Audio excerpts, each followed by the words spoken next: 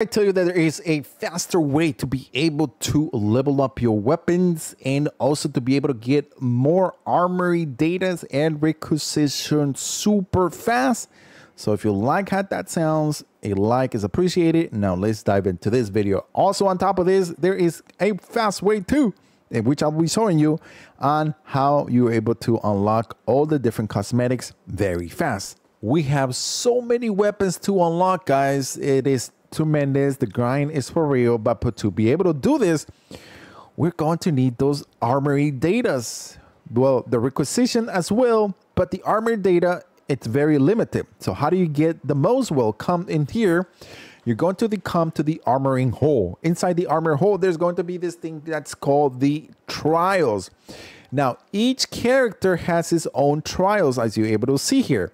Now, I am leveling up the Vanguard, but if you are able to complete each of the different type of objectives, such as cut the synapse, uh, the grapnel launcher, and perfectly time, and as you're able to see here, if we go to the assault um, class and also you're able to do the same thing but corresponding to that class. So if we go back to the vanguard we're able to see that each time you get an A, you're going to get rewarded with a armory data. And if you get a B and you get a C, you're also going to get what's this? You're going to get requisition, which is going to be 25 each single time. Do all those trials as much as you can, and that is going to be literally the fastest way you're going to be able to just level up your weapons fast and also not only that but also unlock all the different cosmetics that you need